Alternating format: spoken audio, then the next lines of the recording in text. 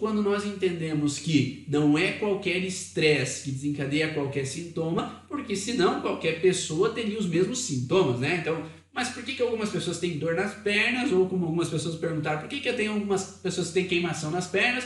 Outras têm uma hernia inguinal, outras têm um ranger de dentes, outras têm uma tensão em trapézios, outras têm dores de cabeça. Então, se o estresse em geral gera sintomas, deveria gerar o mesmo sintoma, né? Por que, que algumas pessoas têm um tipo de sintomas e outras pessoas têm um outro tipo de sintomas? Aí entra no contexto da percepção. O que, que é percepção? É como a pessoa visualiza a situação conflitiva que ela está vivendo.